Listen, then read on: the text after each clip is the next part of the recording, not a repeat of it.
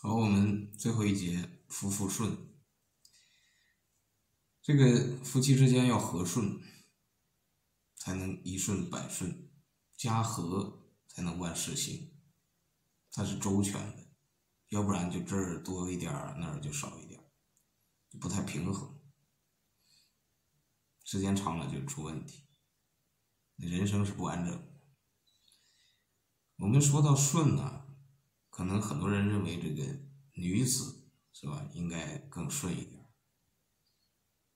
那实际上，以前讲的这个三从四德呢，说在家啊，未嫁从父，既嫁从夫，夫死从子，就总要从一个。感觉这个女子，这个坤道。这叫包容，厚德载物，就要从，是不是很委屈呢？一个主，一个从。其实我们现在把观念改过来，改成主跟伴，陪伴的伴。你这个从是要衬托他，但是这个主要不好好的照顾你，你也不会从，也不应该从。所以坤卦讲立聘马之贞。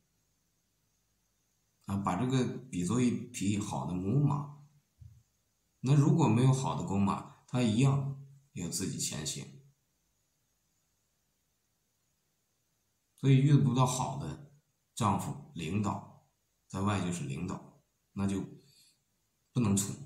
但是作为一个女性呢，你表面上嘴上从，是是是，好好好，嗯啊嗯哈，不去做就好了。到时候再想办法，再找借口。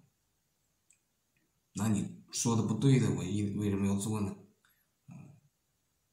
那是傻傻瓜呀！让你去干嘛就干嘛了。他是不是真心为了你？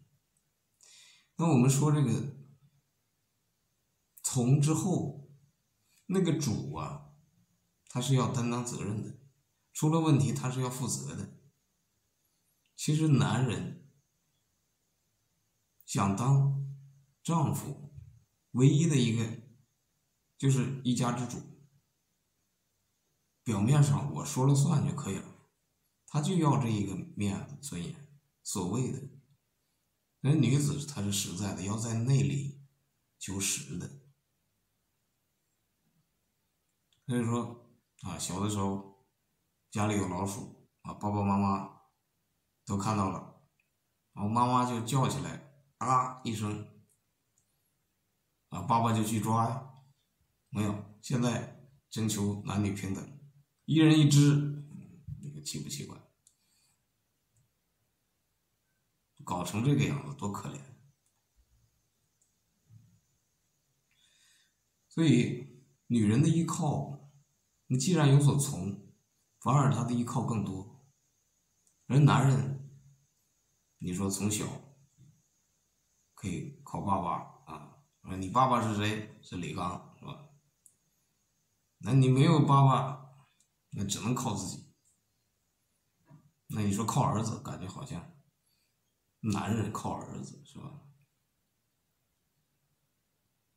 所以这是一方面是弱势，一方面又是他的优势，看你怎么去看待这个问题。那四德呢？说父。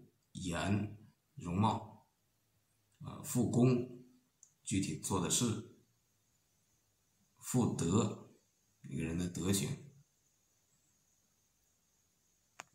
还有就是复言，讲话说话，我们会想到这是对女性的压迫拘束啊。实际上，女子她的特性，她的特点是这样，是上柔的，是能够。在小的范围内提升自我，让自己更完满，同时衬托家里，让家里更美满和谐，有什么不好呢？而男子他可能某一方面更突出，大的事情他需要拿得起来，所以性别不同啊。我们一直以来对女子是非常尊重、尊敬的，只不过明清时期比较严，搞得现代人好像一想就古代怎么怎么。